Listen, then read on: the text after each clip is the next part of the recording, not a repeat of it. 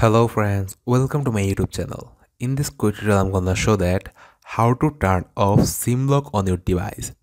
For this settings you have to open settings option on your device. After opening settings option you have to search SIM lock. Then here you can see setup SIM card lock. Then you have to click setup SIM card lock option and here you can see uh, this option. Click here and unlock SIM card, enter your current SIM card pin. Your current SIM card pin is 1234 then click to ok.